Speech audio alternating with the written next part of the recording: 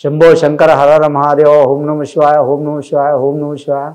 మాతా కనకదుర్గై తువిద్య వనదేవతలు సమ్మక్క సారక్క తువిద్య ఈశ్వర పరమేశ్వర ఓంకారేశ్వర విఘ్నేశ్వర వినాయక గణనాయక తువిద్య కంచి కామాక్షి మధుర మీనాక్షి తువిద్య తుల్జాపుర భవాని తువిద్య వేదమాత గాయత్రి మాత తువిద్య రాజరాజేశ్వరి దేవత తువిద్య కొల్లాపూర్ మహాలక్ష్మి తువిద్య బాసర సరస్వతి దేవత తువిద్య ఇప్పుడు మనం రెండు వేల ఇరవై మూడవ సంవత్సరం అక్టోబర్ నెల పదిహేనవ తేదీ నుంచి ముప్పై ఒకటో తేదీ తేదీ వరకు ద్వాదశ రాశుల్లో మకర రాశి వారి జ్యోతిష్యం గౌల శాస్త్రం చూస్తున్నామండి. గౌల శాస్త్రం లకుట ప్రశ్న శాస్త్రం అలాగే చింతామణి శాస్త్రం అంటారు. ఈ శాస్త్రాన్ని రకరకాల పేర్లతో పిలుస్తారు. వారి పేరు మీద మకర రాశి వారి పేరు మీద మూడు సార్లు గవ్వలేసి వాటిని లెక్క పెట్టి జ్యోతిష్యం చూస్తున్నామండి. భూత భవిష్యత్తు వర్ధమానం శుభయోగం అశుభయోగం.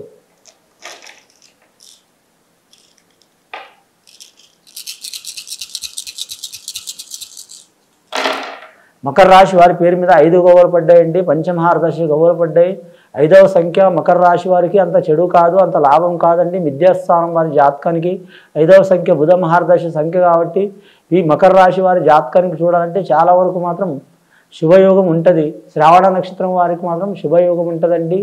కానీ మాత్రం అలాగే ఉత్తరాషాఢ నక్షత్రానికి కొద్దిగా అశుభయోగం ఉంటుంది. ధనిష్ట నక్షత్రానికి విద్యాస్థానం ఉంటుంది. విద్యాస్థానం అంటే సరి సమానం ఉండి శుభ శుభ స్థానం ఉంటుంది. ముఖ్యంగా విద్యార్థులకు మాత్రం విద్య విషయంలో మాత్రం అద్భుతమైన ఫలితాలు కనబడే అవకాశం ఉంది. పంచాంగ శాస్త్రం చంద్రాయణం ప్రకారం ఎల్నాటి శని ప్రభావం మకర రాశికి ఉన్నదండి. ఎల్నాటి శని ప్రభావం ఉన్న గురుబలం ఉంది కాబట్టి వీరి జాతకానికి మాత్రం శుభయోగాలు ఉన్నాయి. గవ్వలు ఐదు గవ్వలు పడ్డాయి. ముఖ్యంగా వ్యాపార వ్యాపారస్తులు కూడా మిశ్రమ ఫలితాలు ఉంటాయండి. అలాగే వీరి జాతకంలో విద్యార్థులకు కూడా మిశ్రమ ఫలితాలు ఉంటాయి. అలాగే వీరి జాతక బలంలో చూడాలంటే విదేశానం వేరే దేశం వేరే రాష్ట్రం ప్రాంతం అన్ని దిక్కులు తిరిగే వారికి చాలా అనుకూలం ఉంటుందండి. విదేశానం నుంచి స్వదేశానం వచ్చేవారికి స్వదేశానం నుంచి విదేశానం పోయేవారికి అన్ని రకాలుగా మాత్రం మంచి ఫలితం ఉంటుంది. ముఖ్యంగా వ్యాపార యోగంలో చూడాలంటే మాత్రం పెద్ద పెద్ద కంపెనీలు నడిపించే వారికి తిరిగి ఉండదు వారి జాతక బలంలో ఎలక్ట్రానిక్ రంగంలో ఇబ్బందులు ఉంటాయి. అలాగే వీరి జాతకంలో మోటార్ ఫీల్డ్ రంగం వ్యాపారం చేసేవారు కలిసి వచ్చే అవకాశం ఉంటుంది. అలాగే వీరి జాతక బలానికి చూడాలంటే మాత్రం వీరి పేరు మీద మాత్రం లక్ష్మీకళ యోగ బలం ఉంటుంది. ముఖ్యంగా నరదృష్టి అధికం ఉంటుంది వీరి జాతకానికి. జా చాలా జాగ్రత్తగా ఉండాలి. సైంటిస్ట్ రంగంలో పనిచేసే వారి ఖగోళ శాస్త్రంలో పని ఉద్యోగం చేసేవారికి మంచి ఫలితాలు ఉంటాయి. పరిశో పరిశోధన చేసేవారికి. అలాగే వీరి జాతకంలో అట్ట షేర్ మార్కెట్ రంగం వారికి స్టాక్ మార్కెట్ రంగం వారికి కలిసి వచ్చే అవకాశాలు ఉంటాయి. కంప్యూటర్ రంగం వారికి కలిసి వచ్చే అవకాశాలు ఉంటాయి. అలాగే వీరి జాతకానికి బోధన రంగంలో నడిచేవారు విద్యా విద్యా రంగంలో నడిచేవారు ప్రొఫెసర్లు కావచ్చు లెక్చరర్లు కావచ్చు పెద్ద టీచర్లు కావచ్చు గురువర్యులు కావచ్చు మంచి ఫలితాలు కలబడతాయి వారి జాతకంలో. ముఖ్యంగా చాలా గత కొన్ని సంవత్సరాల నుంచి ప్రయత్నం చేస్తున్న వారు కొత్త కొత్త విషయాలు కనుగొని మాత్రం తప్పకుండా మంచి ఫలితాలు కలిసి వచ్చే అవకాశాలు ఉన్నాయి. కానీ శుభకార్యం వివాహం చేయాలనుకునేవారు టైం తీసుకోవడం మంచిది. గృహ నిర్మాణం చేయాలనుకునేవారు కొద్దిగా నిదానం పెట్టడం మంచిది. రియల్ ఎస్టేట్ వ్యాపార రంగం వారికి కలిసి వచ్చే అవకాశం ఉంటుంది. ముఖ్యంగా వీరి జాతకంలో చూడాలంటే మాత్రం దూర ప్రయాణం చేయాలనుకునే వారికి మాత్రం తప్పకుండా మంచి ఫలితం ఉంటుంది. ఆకస్మికంగా ప్రయాణం చేయవద్దండి. అమావాస పౌర్ణమి వీరికి అచ్చుబాటు ఉండదు. ముఖ్యంగా వీరి జాతకంలో చూడాలంటే మాత్రం సంతానం నుంచి చాలా వరకు మంచి ఫలితాలు కలిసి వచ్చే అవకాశాలు ఉన్నాయి. కుటుంబంలో మాత్రం విరోధాలు తప్ప ఒకరి మనసులో ఒకరు ఉండరు. ఎవరు ఆలోచన వారికే ఉంటుందండి. రెండవసారి గవ్వలేసి చూద్దాం. మకర రాశి వారి పేరు మీద.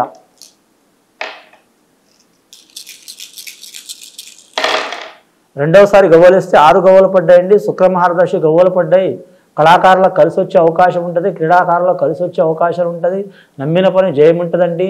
గత కొన్ని సంవత్సరాల నుంచి దరిద్రవాదులు గడ్డు పరిస్థితులు ఎదుర్కొంటున్న కళాకారులు టీవీ కళాకారులు సినీ కళాకారులు అలాగే వీరి జాతకంలో రంగస్థల కళాకారులు మీడియా రంగం వారికి ఎన్ని ఇబ్బందులు చిక్కులు చికాకులున్నా తొలగిపోయే అవకాశాలు ఉంటాయండి.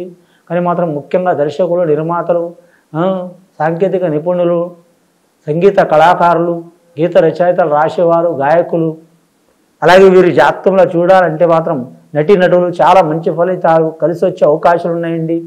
కానీ ఎన్ని చికాకులు చిక్కులు వచ్చినా కానీ మాత్రం వారు అనుకున్నది సాధించే అవకాశం ఉన్నదండి వారి పేరు మీద. కానీ మాత్రం సాధించలేనని అప అపనమ్మకం ఉంటుంది వారికి. ఆ అపనమ్మకం ఉన్నా కూడా మాత్రం ఒకటికి పదిసార్లు ప్రయత్నం చేసి తప్పకుండా సాధించే యోగం ఉంటుందండి. ఎవరు సడన్గానే పైకి రారండి. సడన్గా పైకి వచ్చిన వారు ఎవరు చాలా కాలం ఉండరండి. ఇలా అష్టకష్ట చిక్కులు పడి కూడా మాత్రం ఒక దారికి వచ్చే అవకాశం ఉంటుంది. గొప్ప పొజిషన్లో ఉంటారు పది మందికి చెప్పే రీతిలో ఉంటారు. కానీ మాత్రం ఎవ్వరు వారి జాతకంలో ఊహించిన పరిమాణాలు కలిపిస్తే వారికి మంచియే కానీ చెడువే కాదు అండి వారి పేరు మీద ఆరవ సంఖ్య. ముఖ్యంగా స్త్రీలకు మాత్రం కలిసి వచ్చే అవకాశం ఉంది. అలాగే స్త్రీ సంతానం నుంచి తల్లిదండ్రులకు కలిసి వచ్చే అవకాశం ఉంది.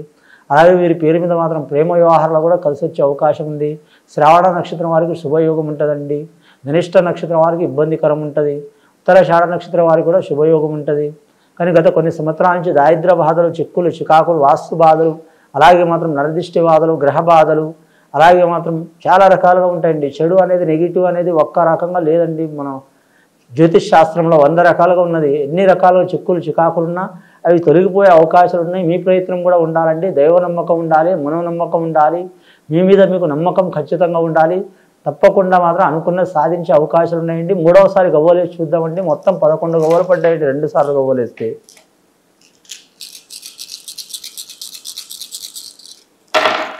మూడవసారి గవ్వలేస్తే నాలుగు గవ్వలు పడ్డాయండి. నాలుగు గవ్వలు అంటే రాహు మహారదశ జాతకం అండి. రాహు మహారదశ అంటే ముఖ్యంగా మాత్రం రాహు మహారదశ మోక్షకారకుడు. అలాగే మాత్రం మంత్రసిద్ధి కారకుడు. రాహు అంటే మాత్రం సూర్యుడికి ఉన్నంత పవర్ ఉంటుంది అంటే ఒక్కోసారి సూర్యుడి కంటే చాలా పవర్ ఉంటుంది. అని మకర రాశి వారి జాతకానికి రాశ్యాధిపతి ఉంటాడండి. శ్రీశ్వరుడు నక్షత్రాధిపతి మాత్రం రవి ఉంటాడండి. ఉత్తరాషాఢ నక్షత్రానికి ధనిష్ట నక్షత్రానికి కుజుడు ఉంటాడండి. అలాగే శ్రవణ నక్షత్రం వారికి మాత్రం చంద్రమహార దశ ఉంటుందండి. రకరకాల ఉంటుంది. ఉత్తరాషాఢ నక్షత్రం వారు కలిసి వచ్చే అవకాశం ఉంది. ఒకటవ తేదీ పదవ తేదీ అలాగే ఇరవై ఎనిమిదవ తేదీ పుట్టిన వారు కలిసి వచ్చే అవకాశం ఉంటుందండి. అలాగే ఎనిమిదవ తేదీ పదిహేడవ తేదీ ఇరవై ఆరవ తేదీ పుట్టిన వారు కూడా మాత్రం లక్ష్మీ కళా యోగ బలం ఉంటుందండి.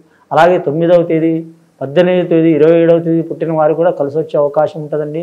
మంగళవారం శనివారం ఆదివారం చాలా వరకు శుభయోగం ఉంటుంది. శుభకార్యం కళ్యాణం గురించి ఆలోచించే వారికి మంచి ఫలయోగాలు కనిపిస్తాయండి.